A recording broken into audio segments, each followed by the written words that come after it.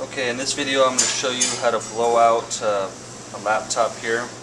Heat is uh, very important to make sure that you keep out of your computers so that uh, no possible damage or even performance will be hindered uh, during your laptop. So you're going to want to do this regularly, probably I recommend every week or so. Um, basically you're going to turn your laptop over and you're going to find all your fan areas here and also any type of heat sink ventilation here and you're going to blow those out with a can of air.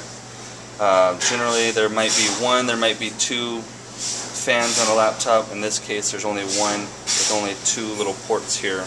But you're going to want to make sure you check on all sides of the laptop.